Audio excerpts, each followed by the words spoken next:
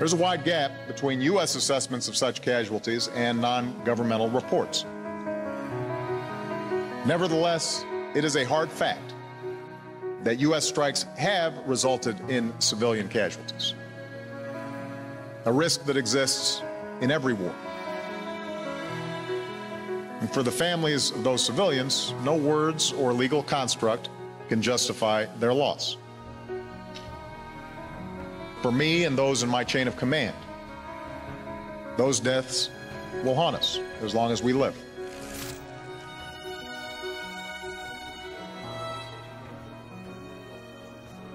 What does it mean to be haunted by loss?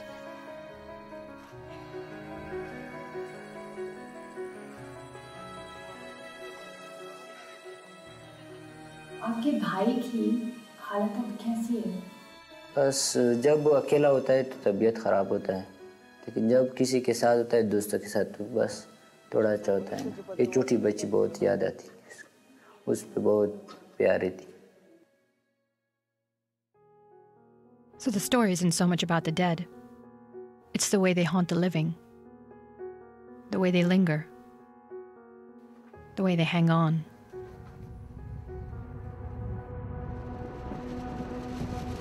The US began bombing Pakistan in 2004. Now it's nine years later, and the American conversation on drone attacks is only just beginning. I've lived most of my life moving between America and Pakistan.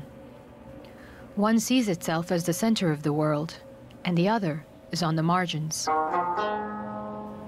But Waziristan, where most of the drones attack, is at the margins of that margin.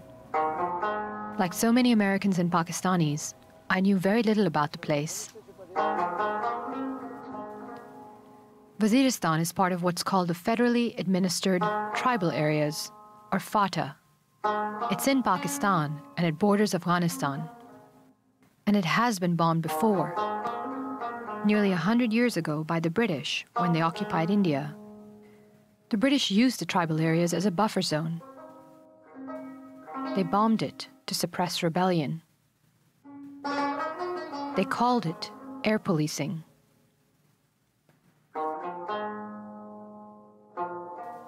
They said there was no law here, so force was necessary.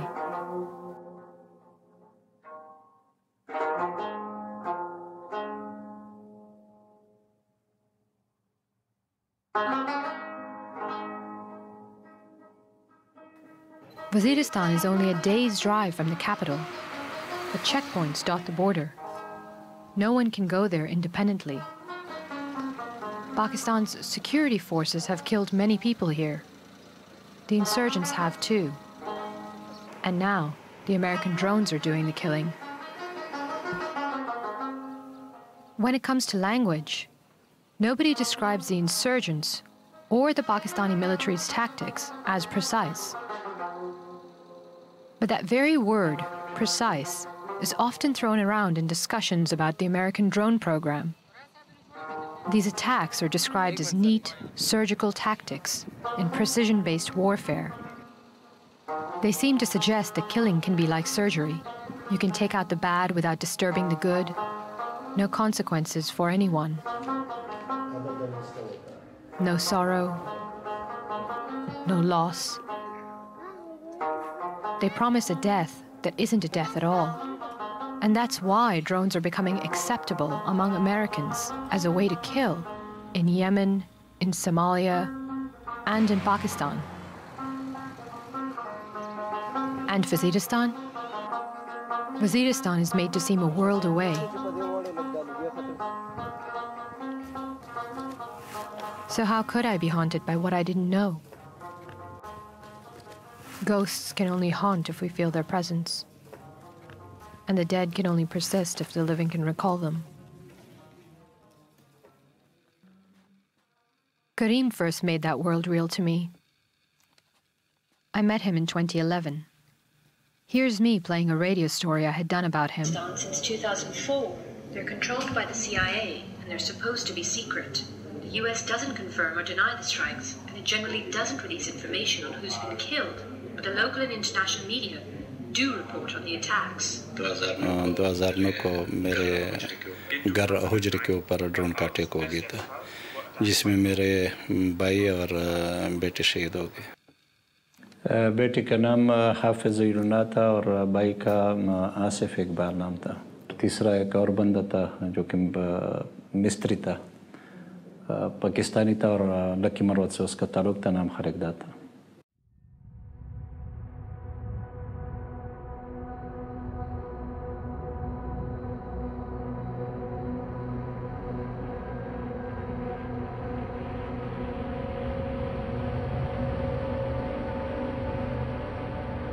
दोनों के तबूत एक ही साथ रखे हुए थे घर में?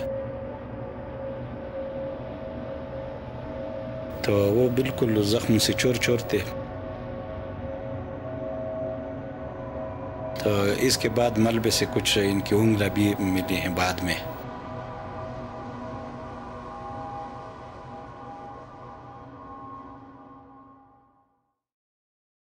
तो बेटे का, आपको पता है हाफिज कुरान था और एक गर्ल्स स्कूल में चौकीदार रहा चौकीदार था और ट्रेन के लिए वो तैयारी कर रहा था। भाई जो था वो उसने एम ए इंग्लिश किया था निमल से और गवर्नमेंट एम्प्लॉय था। वो जो था, एक तो डिबेट का बहुत शौकीन था डिबेट, लेकिन बहरहाल कद उसका छोटा था।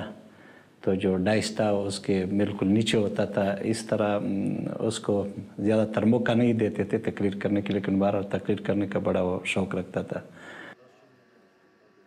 I met Saddam a couple of years later. He's a school-going teenager with a shy smile and a quiet, apologetic demeanor.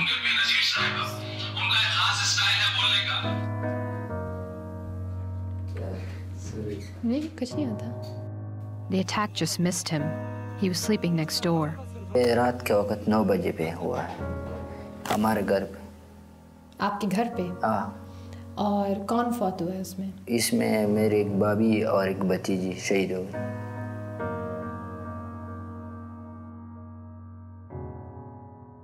Drone हमला हुआ माँ ने कहा कि भाभी को बुलाओ। मैंने कहा तुम जाओ मैं भाभी को बुलाता हूँ। मुझे चुपे पता चल गया कि बस भाभी तो शहीद हो गई है।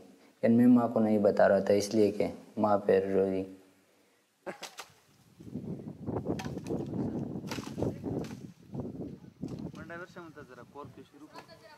तो इसके बाद मेरा भाई उधर दूसरे उजरे से आया और कहा कि क्या हुआ? मैंने कहा, ड्रोन हुआ है। उसने कहा, उसने अपनी छोटी बच्ची की मुझसे पूछा। मैंने कहा कि वो जिंदी ज़िंदा है। जब थोड़ी देर बाद पता चल गया तो उसकी हालत बहुत ख़राब हो गई। हमने उसे अस्पताल ले गया उस पर कैनूले ड्रिप भी लगाए कई दिन बाद हमने पेशावर से भेज दिए उधर डॉक्टर ने दवाई भी लिख लिया थोड़ा अच्छा हो गया उसे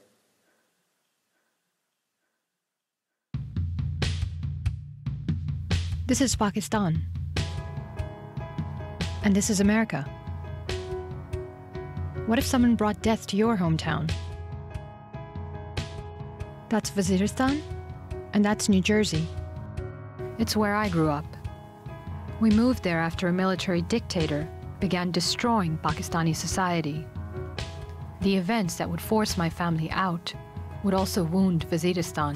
मिस्टर भुट्टो की हुकूमत खत्म हो चुकी है सारे मुल्क में माशाल्लाह नाफिज कर दिया गया है कौमी और सूबाई असम्बलियां तोड़ दी गई हैं That man was General Ziaul Haq. Those were the 1980s. Pakistan's tribal areas were being used as a staging ground for the American war against the Soviet Union. We have with us six from the Afghanistan freedom fighters. There's a man here whose wife was killed in front of their two children. Another one who lost his brother in the tunnel. They're still losing brothers. Waziristan is only half the size of New Jersey. How would it feel if bombs rained over New Jersey for nine years? Would you be frightened? If they killed your son, your cousin, or your husband and got away with it, would you be angry? You probably couldn't forget about it if you tried. You'd be haunted. The British thought you were all savages. Now the Americans think you're all militants. Uh, Chris Woods, can you talk more about the redefinition of civilians uh, outlined in the New York Times piece? Uh, President Obama embracing this disputed measure of counting civilian casualties, in effect, counting all military age males in a strike zone as combatants. This revelation really is extraordinary that any adult male killed in, in effectively a defined kill zone is a terrorist unless posthumously proven otherwise. The U.S. drone strike that's killed eight alleged militants along the Afghanistan-Pakistan border. A U.S. drone strike on suspected Islamist militants in northwest Pakistan has killed at least 10 people there. Five al-Qaeda militants were killed in a U.S. drone attack. Three U.S. drone strikes have killed five suspected al-Qaeda militants. At least 45 suspected militants have been killed by missiles launched by U.S. drone aircraft. Now they're looking around like right. this. An airstrike on Sunday killed five alleged militants. What we do now is we find out someone having a Big Mac in Islamabad they're out of here. These reports of these alleged deaths of children um, and innocent civilian casualties in general are complete rubbish.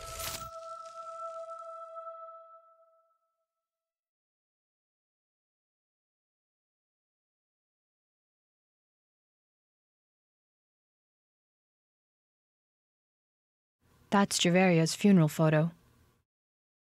She was less than a year old. The photos of many of the people living in the tribal areas don't exist, so local journalists began to take photos to document their deaths. Their deaths would have to stand in for their lives. वहाँ पर तकरीबन सात के करीब इसमें बच्चे शहीद हो चुके थे और ये भी घर पे हुआ था ये हमला इस हमले में सात खातन और तीन बच्चों समेत टोटल इक्कीस अफराद जान बहाक जान बहाक हो चुके थे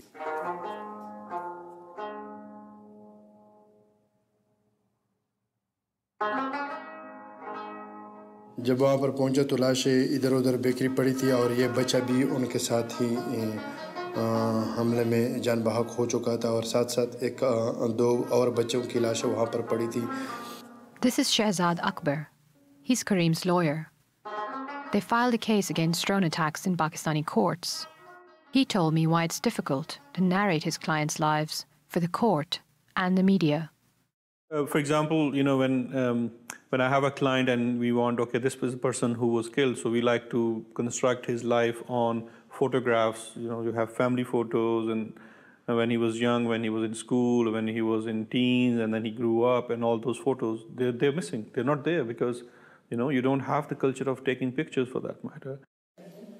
ये वाक़ है मकीन का वहाँ पर ड्रोन हमला हुआ था वहाँ पर जब मैं पहुँचा तो टुकड़े नज़र आ रहे थे हाथों के, पाँव के और लाशों के। जब ड्रोन हमला हो जाता है तो फ़ौर रिपोर्ट आ जाता है कि इनमें, इस हमले में इतने दहशत गर्द मारे गए। हालाँकि वहाँ पर सिर्फ़ ये टुकड़े होते हैं और ये लाशों के टुकड़े होते हैं और ये लाशों के टुकड़े वहाँ पर लाकर किसी तरह पर भी लोगों को मालूम नहीं होता कि आया इन हमले में कितने लोग जान बहक हो चुके हैं। जो जो मीडिया में गलत रिपोर्ट आती है, उसकी वजह ये होता है। हमारी पाकिस्तानी गवर्नमेंट है। अभी ये तो इतिहादी फ़ौज का अपने आप को फ्रंट लाइन समझ रहे हैं। वो सिर्फ़ इसके लिए आएँगे कि देखेंगे कि ये पूरा तबाह हैं। इनके टुकड़े टुकड़े हुए हैं या जिसम सालिम है वो तो इसके लिए I asked Saifullah Khan Mehsood to explain the Pakistani government's relationship to the tribal areas. Saifullah Khan is a researcher at the FATA Research Center. He's from South Waziristan himself. FATA is like federally administered tribal areas. I mean, it is governed by a an archaic law that was introduced by British in that area, known as the Frontier Crime Regulation Act. So it's still that system whereby, you know, the president, uh, the governor on behalf of the president appoints a political, uh, you know, agent in that area. You know, the office of the political agent basically, you know, has all the judicial, the legislative, legislative, the, the executive and the judicial power, you know, in his hands in in, in the hands of the political agent. So, you know, there is absolutely no accountability. If a political agent, you know, kind of comes up and makes a decision, you know, a judicial decision or any kind of decision, there is no other authority, no body there available which can actually hold him accountable. People in the tribal areas call this colonial era system the Black Laws. Under these laws, people living in the tribal areas didn't even get the right to vote till 1996. So the tribal areas are a political category, a place haunted by its past. It just means a place where colonial laws still exist and the Pakistani constitution doesn't apply. A place with at least four different kinds of security forces, from militias to the army. The Pakistani state still claims there is no law here, so force is necessary. It means a place that's kept invisible.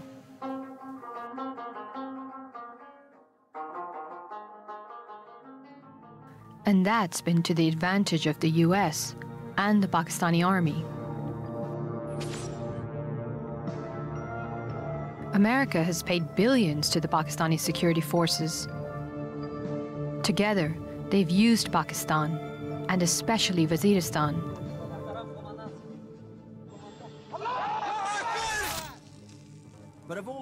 During the Cold War, it was to battle communism and to fund and train the Mujahideen. the most damaging. This is a training camp for Afghan guerrillas or mujahideen. These camps aren't supposed to exist on Pakistan soil, a contradiction which is circumvented not very neatly by the technical point that they are in an area only partly controlled by Pakistan, the tribal areas near the border with Afghanistan. Now it's to support the US as it occupies Afghanistan.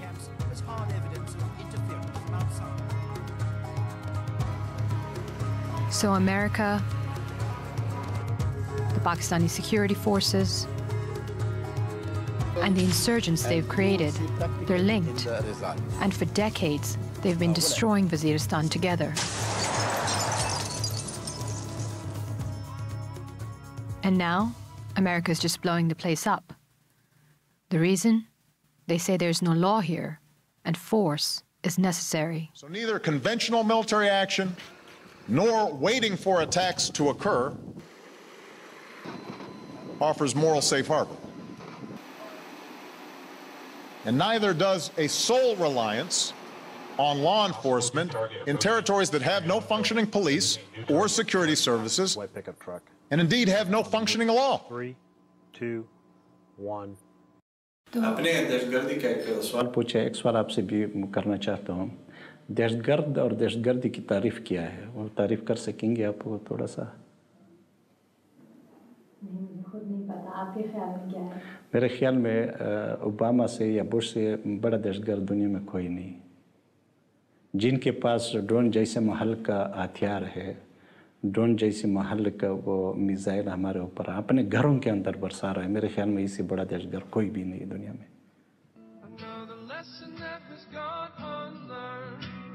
But this is not a cry for pity or for sympathy.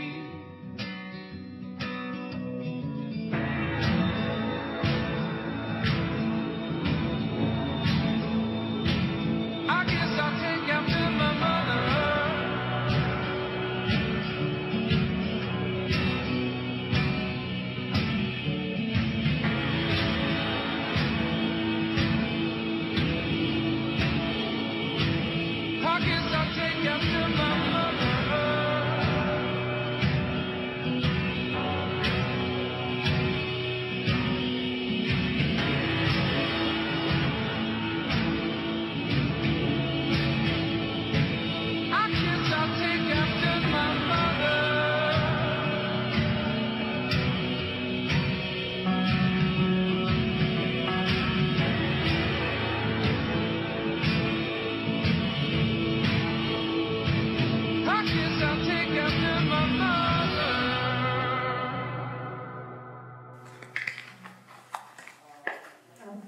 हाँ हाँ अभी उसने अबू का नाम सुना। थोड़ा थोड़ा बोलता था अबू अबू। अभी उसको अबू अबू का नाम आता था। बस शहीद हो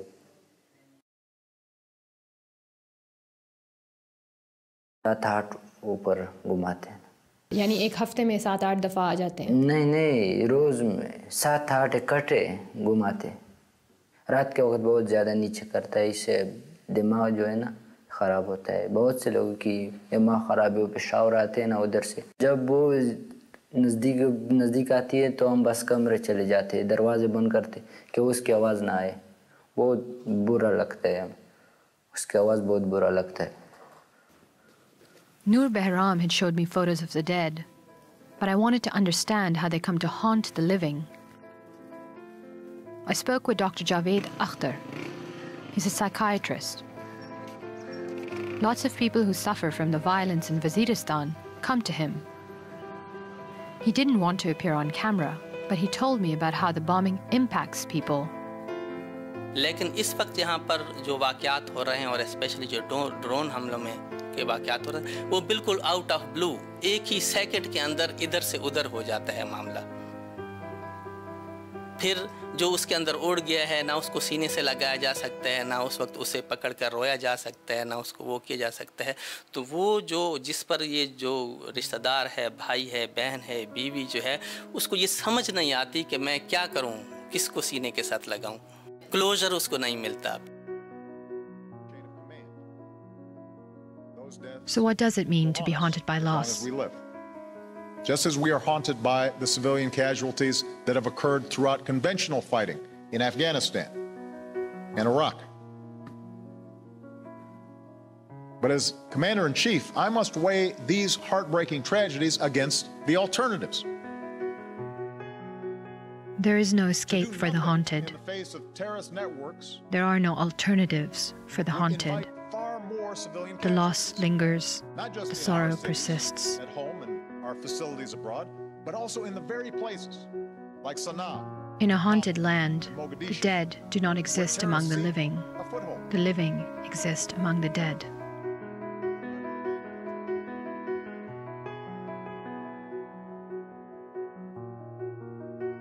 यार हमें अपनी जान बहुत बुरा लग रहा है कि, कि तुम्हारे बाप शायद तुम क्यों जिंदा है तुम भी मर जाओ अगर हम उसी दिन मर जाते तो बहुत अच्छी बात होती बस में हम इसमें ये अफसोस करते कि काश मैं भी उसमें शहीद होता।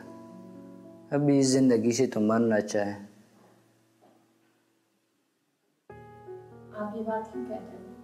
इसलिए कहते कि हम अभी तंग चुके हैं। इस ड्रोन से इस लोगों की बेगुनाह शहादत से हम तंग चुके हैं कि लोगों को बेगुनाह शहीद करते हैं। इसलिए हमें अपनी ज़िंदगी पसंद नहीं। स्कूल पढ़ते लेकिन ऐसा नहीं पढ़ते कि दिल लगा के पढ़।